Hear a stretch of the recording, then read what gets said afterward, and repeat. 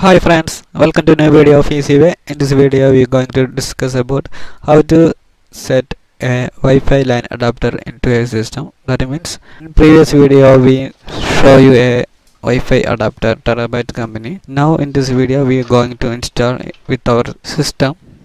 This is the Wi-Fi adapter we are going to install now.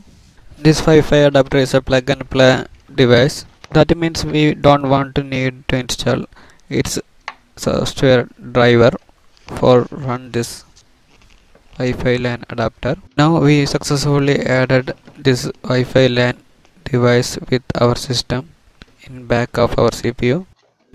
Now we can check this device is working properly. So that purpose we want to switch on this device and want to see our operating system.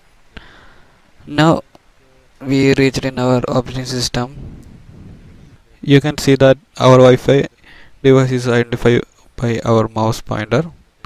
Here is the Wi-Fi name. Eyeball button is that our Wi-Fi name.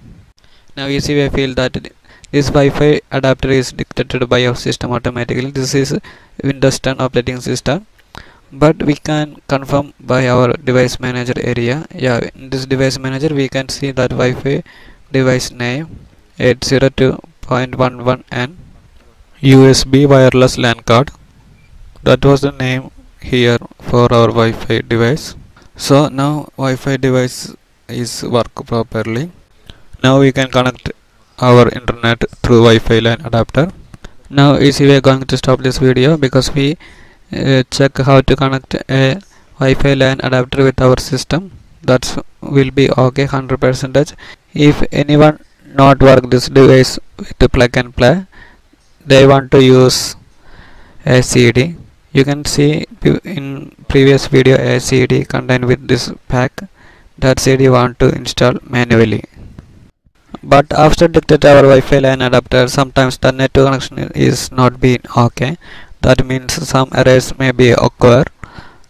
That means password not match like that. In next video we will discuss about that problems.